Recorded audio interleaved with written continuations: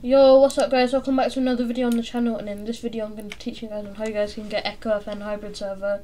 This is a new hybrid server made by me, Raxter and Foco and it does have every skin and it equips fast enough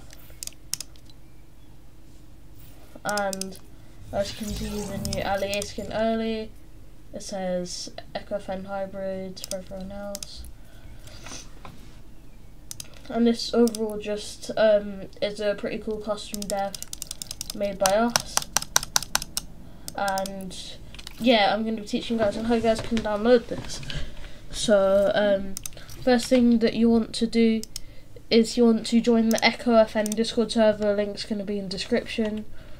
If you want to you can boost it. They are uh, they have just lost all their boosts so it could be appreciated if you boost and um, what you want to do is you want to join, you want to read the rules, then just head to FN Dev, click this link target.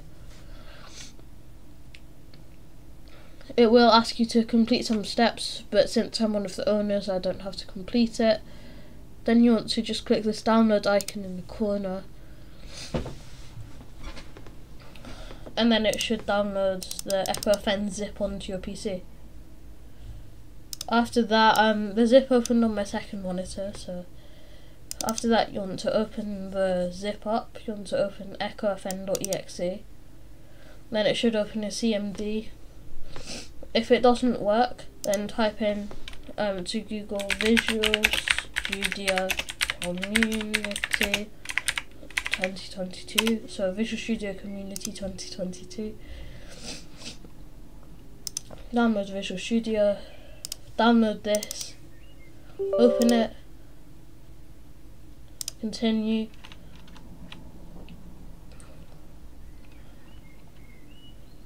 Then it should verify the thing.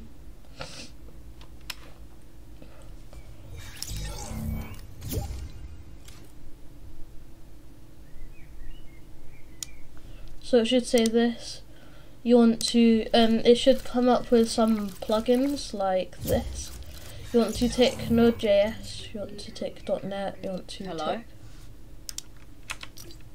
Okay, now mind.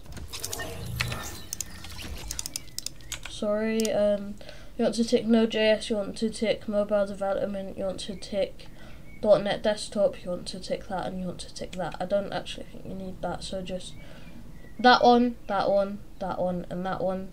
Those are the ones that you need to tick and then install it in the corner. I've already got it so I don't need to.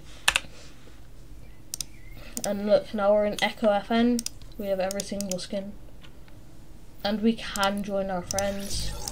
And it's got a really nice background. got a thing here. It's got custom um, um, stuff all around